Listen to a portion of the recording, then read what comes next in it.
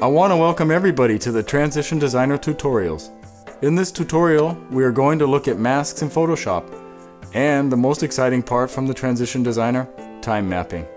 I'm going to show you how you can create and use an invisible dissolve with a mask to pull the object through. Let's look at the effect more closely, one frame at a time. The bus drives through and pulls the next frame along with it at the same time. Here the complete sequence. Okay, so how does this effect work? We have two individual clips. One, the bus. Two, the bus as it's driving away. Now I have the bus as it's driving away. So it's important to find the position in the clip where the mask needs to be the biggest. That means I'm going to create a screenshot. We're going to call it bus number 3. Change over to Photoshop and load the bus. Create two new layers and draw here. A rough mask with a soft edge for the motion blur so that the edge of the mask doesn't look too hard.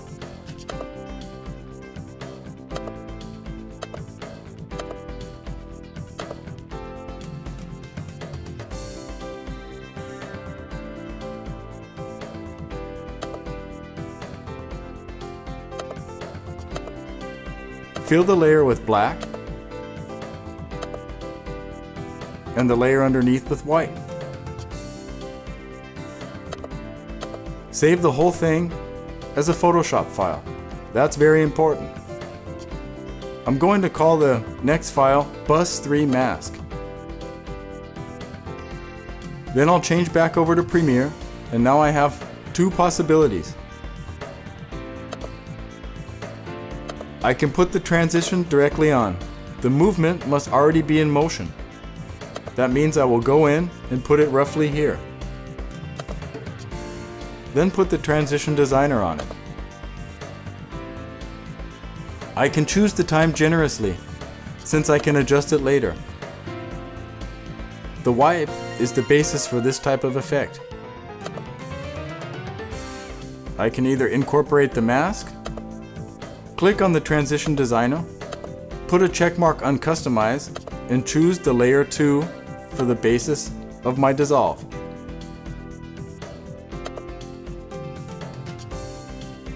Then I have to turn the track off.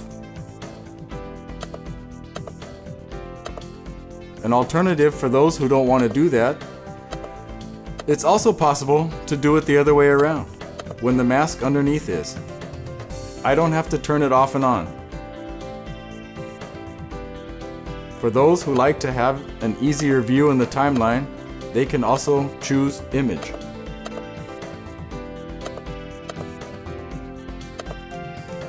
Then load the mask. It was bus number 3.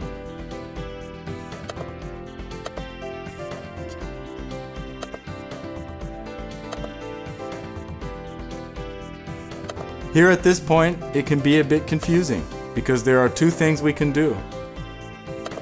Important is that the mask and its position should first be adjusted using time remapping, not transform.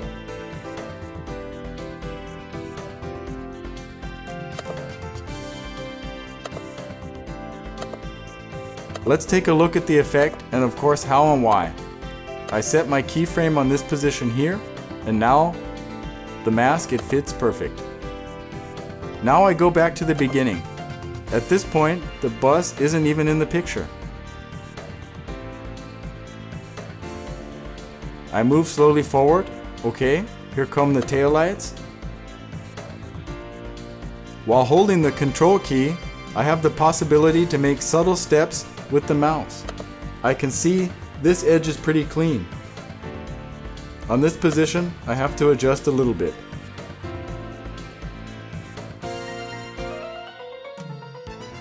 And here, just a little.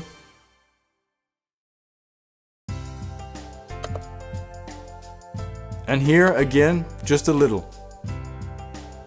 Okay, How do the results look this far? It's almost where we want to have it, but I'm sure you can see that the mask cuts off some of the picture. And how are we going to fix it?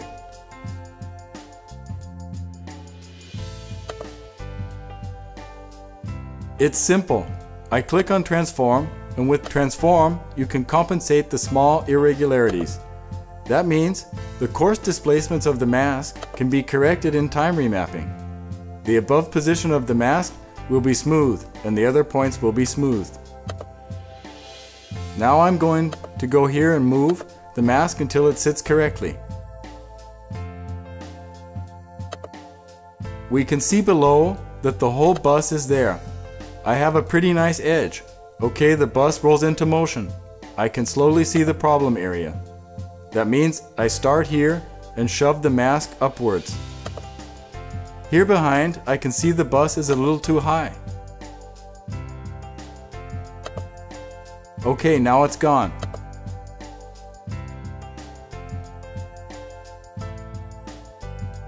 Let's look at the results again. He gets up, the bus pulls out.